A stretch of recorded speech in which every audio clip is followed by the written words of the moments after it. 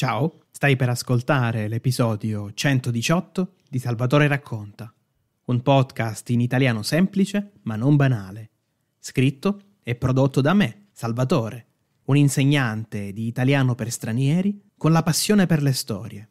Se cerchi qualcosa da ascoltare in un italiano adatto a te e che non parli sempre delle stesse cose, questo è il posto giusto. Il podcast è fatto di cinque serie tematiche.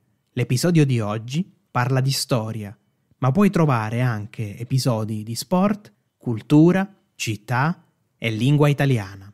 Se un episodio a settimana non è abbastanza per le tue esigenze, puoi ascoltare la serie premium che esce ogni mercoledì, dedicata all'attualità. I temi li scegliamo assieme, io e gli ascoltatori, e puoi accedere anche tu sostenendomi su Patreon. Per saperne di più, vai su www.patreon.com slash Salvatore racconta. Ora però andiamo al sodo. Ho qualcosa da raccontarti.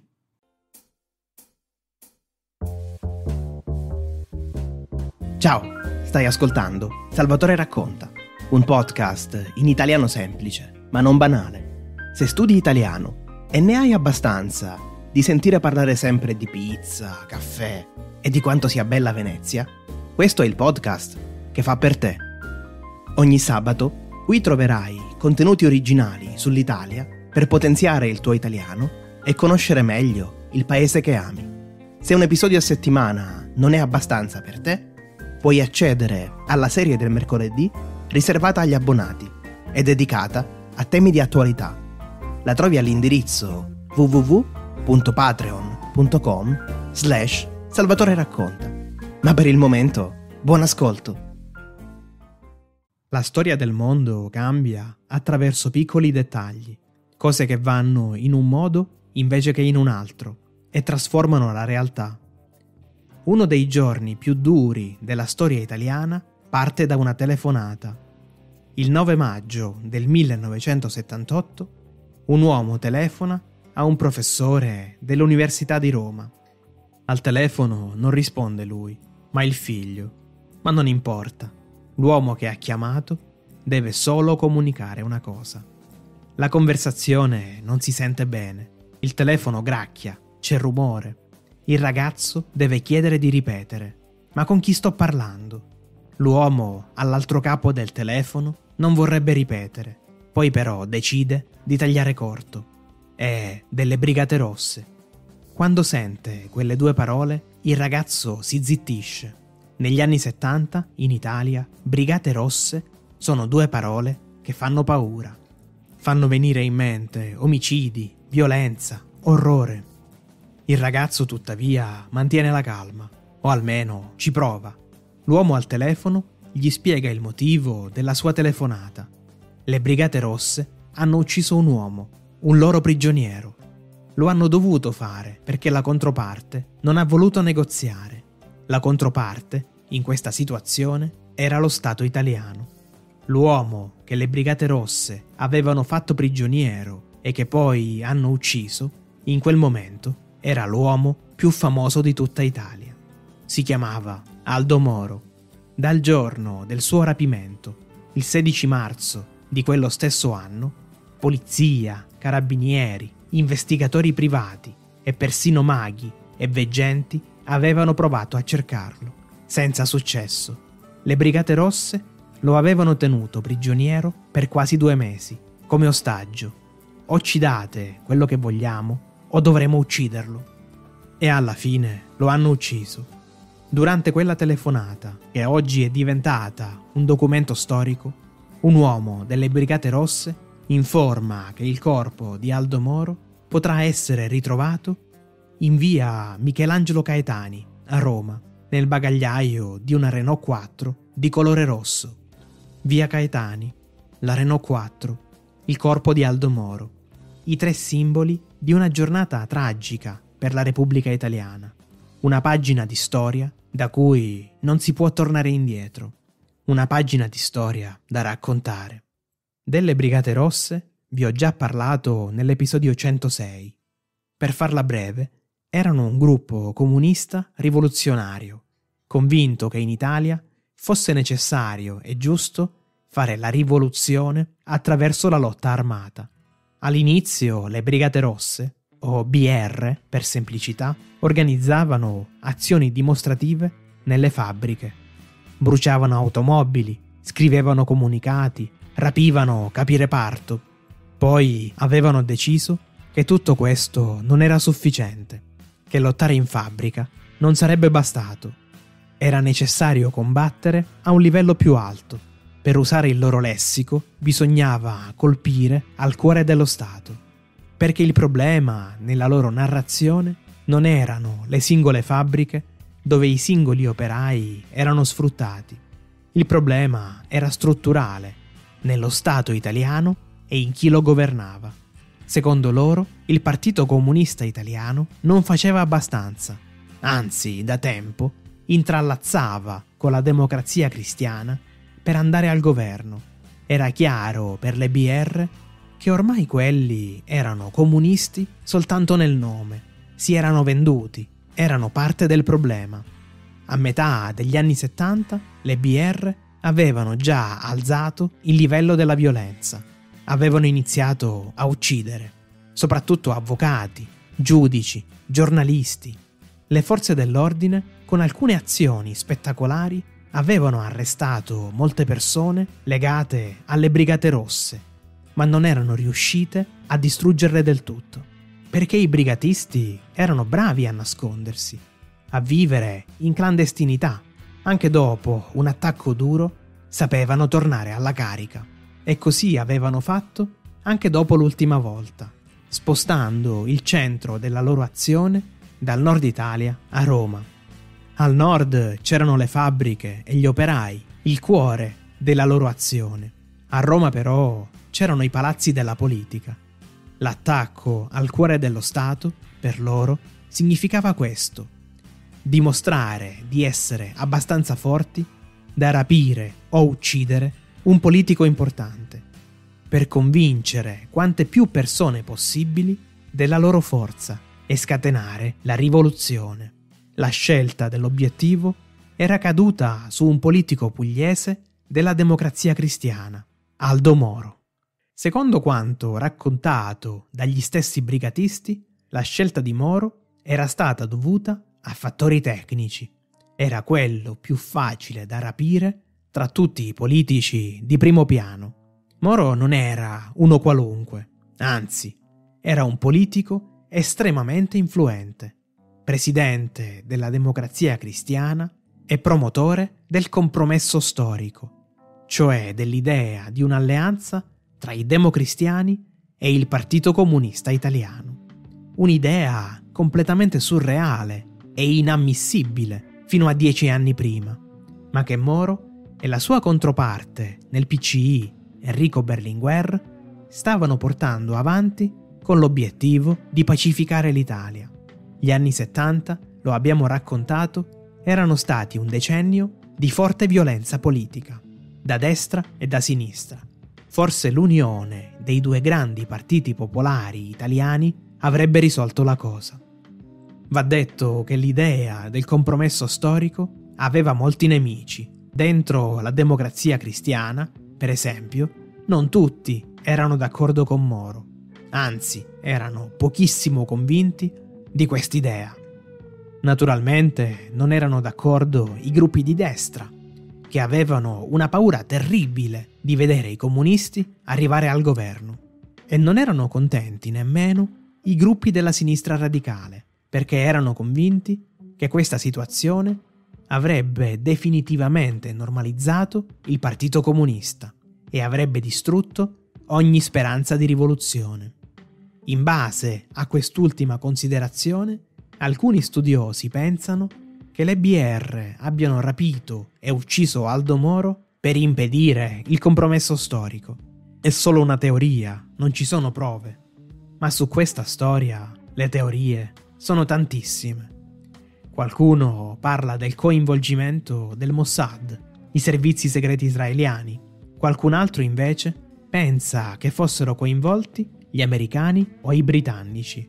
Di certo anche loro, poco contenti di vedere i comunisti al governo. Va detto però che queste sono davvero solo ed esclusivamente teorie. I fatti sono un'altra cosa e sono cominciati il 16 marzo del 1978. Quella mattina l'onorevole Aldo Moro, presidente della Democrazia Cristiana, si trova in auto nella periferia di Roma, pronto ad andare in Parlamento. Dopo mesi di negoziazioni, sta per nascere un governo presieduto dal suo collega e rivale interno Giulio Andreotti e sarà un governo senza l'opposizione del PCI. Insomma, il primo passo del compromesso storico per cui Moro ha lavorato tanto. Moro viaggia con due macchine. Davanti a quella dove si trova lui ce n'è un'altra, con una scorta di poliziotti. Sono anni duri, non si sa mai. A un certo punto le due auto di Moro si trovano all'incrocio tra via Mario Fani e via Stresa, un tratto di strada un po' in salita. Le auto rallentano ed esattamente in quel momento qualcuno comincia a sparare. Sparano sulla prima auto, quella con la scorta, poi anche sulla seconda. Uccidono tutti i poliziotti, poi prendono Moro e lo caricano su un'altra auto. Spariscono tutti nel giro di pochi minuti sono le Brigate Rosse che progettavano quell'azione da mesi e l'hanno organizzata nei minimi dettagli. Hanno rischiato molto, hanno ucciso cinque uomini innocenti, ma ce l'hanno fatta. Hanno rapito Aldo Moro. Le BR rivendicano subito il gesto con comunicati molto chiari.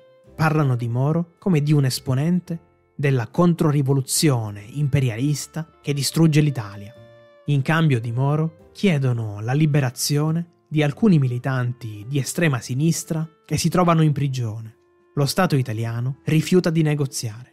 Nel paese c'è un misto di paura e di strana eccitazione. C'è la sensazione che qualcosa di grande stia per accadere, forse terribile, ma pur sempre grande. Nel frattempo, le forze dell'ordine cercano il posto in cui è nascosto Aldo Moro. Lo cercano per 55 giorni, ma non lo troveranno mai. È nascosto in un appartamento all'apparenza borghese dove vivono due brigatisti che fingono di essere una coppia sposata della classe media.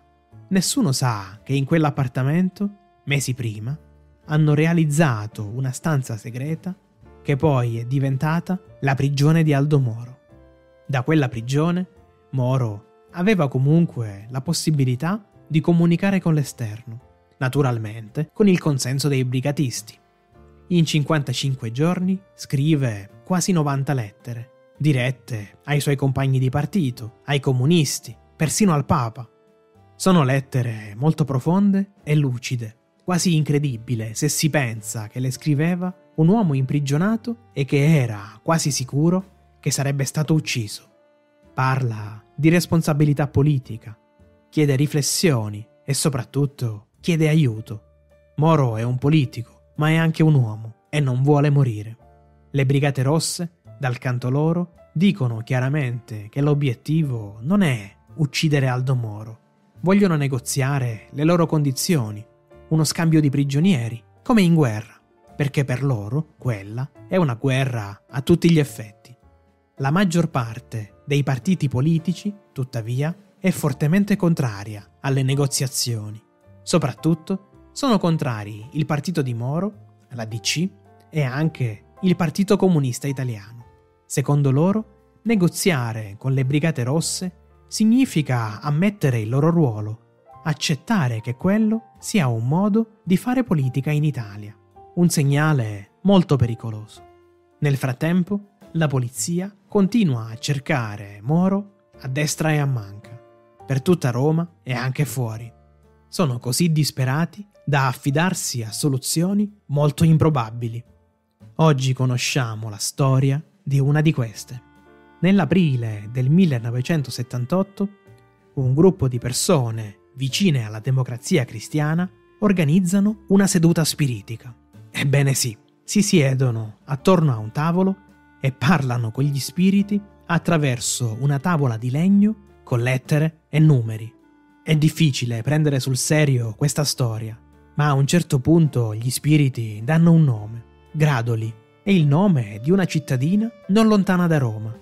Disperati, i poliziotti vanno lì a cercare Moro.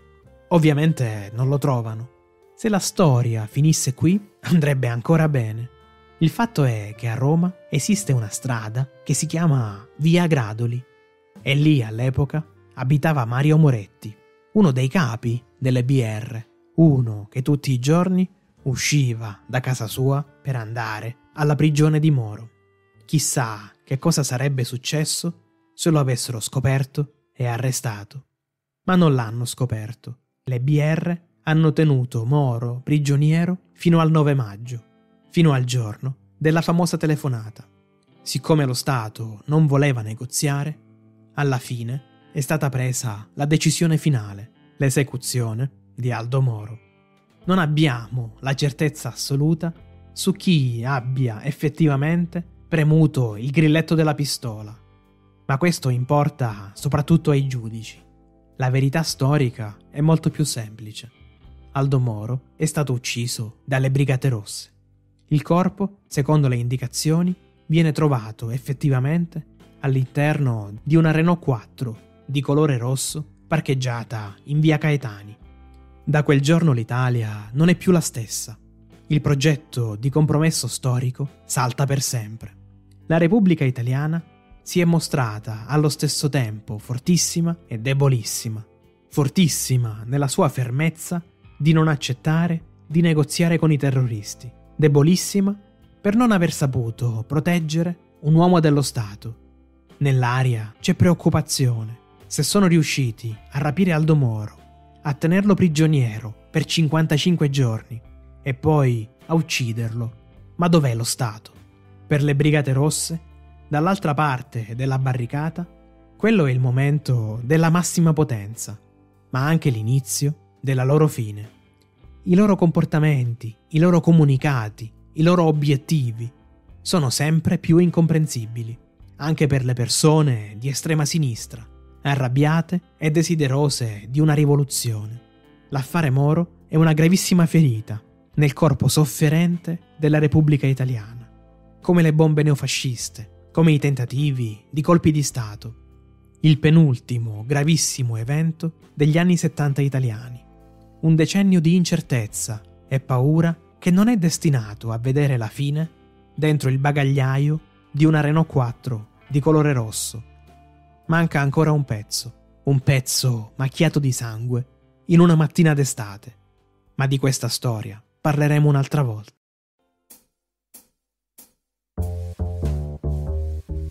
Hai ascoltato Salvatore racconta, un podcast in italiano semplice ma non banale. Se l'episodio ti è piaciuto e ci sono parole ed espressioni nuove che vuoi approfondire, puoi ricevere gratuitamente la trascrizione dell'episodio con un glossario delle parole più difficili iscrivendoti alla newsletter del podcast. Per altri materiali di lessico e grammatica, seguimi su Instagram e visita il sito salvatoreracconta.com. Trovi tutte le informazioni necessarie nella descrizione di questo episodio. Alla prossima!